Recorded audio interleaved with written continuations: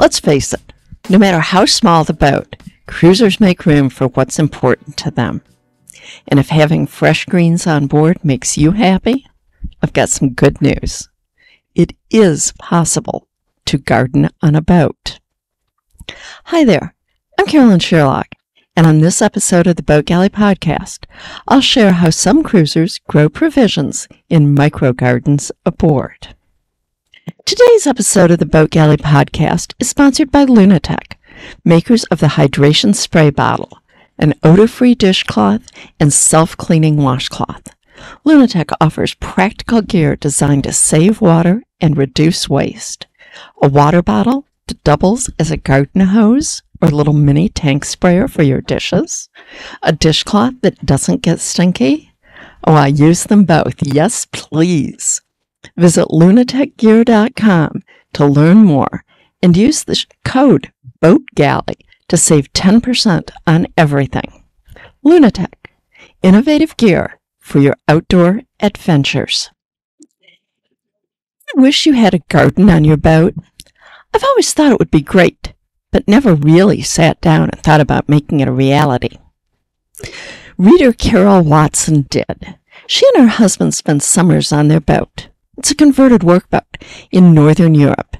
And she came up with a system for a garden on a boat that truly worked.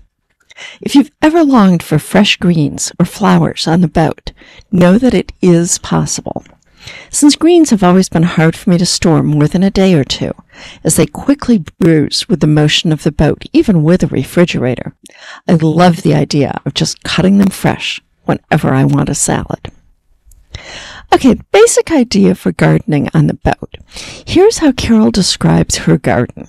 She says, I absolutely cannot function without fresh salad. The first year on our boat, we had no refrigeration the entire summer. And now we only have refrigeration when we have shore power. So quite early on, I arranged to grow my own, and it works really well for us. My husband does get a bit obsessive about moving the garden containers around the back deck, so I try to keep the growing boxes small and of minimum weight as much as I can. I have a couple of plastic storage boxes that I've drilled holes in the bottom of for drainage. I cover the holes with a disposable fiber, uh, not paper, but the uh, the stuff that's more like burlap bags, and then I fill them with potting soil. Now, some of this may work so well for us because we're a motorboat and generally in at least somewhat protected waters.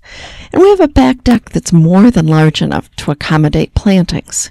And we never, ever travel in rough weather anyways. So it's a very stable and roomy platform, not at all tippy like a sailboat.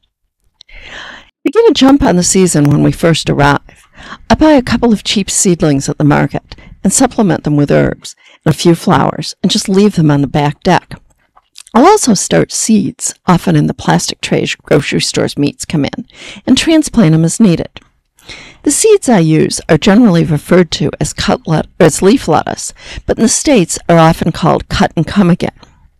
I also use mixes of seed intended for microgreens. It's been so successful that I start a few trays of seedlings when we get back to the States to finish out the year.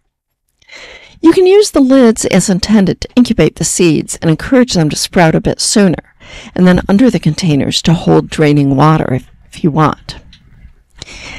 I use leaf lettuce because I can harvest just a few of the larger outer leaves from each plant and have enough for a salad, but still leave the smaller leaves in the center of the plant to keep growing. That way, I get a couple of months of growth from each plant instead of just waiting for a whole new plant to grow. Instead of a bulky salad spinner, I follow the French tradition. I've sewn a small drawstring bag of cheesecloth, and after I've washed the lettuce, I put it in the bag and give it a good swing. Very short term, the lettuce can store in the bag in a cool area, and it's ready for dinner. An added benefit is that other boaters are surprisingly intrigued by our floating garden. A lot of folks stop by to talk because of all the greenery. New friends and fresh salad, that's a win win. Okay, that's it for this episode of the Boat Galley podcast. I hope you found it interesting and maybe got you thinking about how you can have a little garden on board.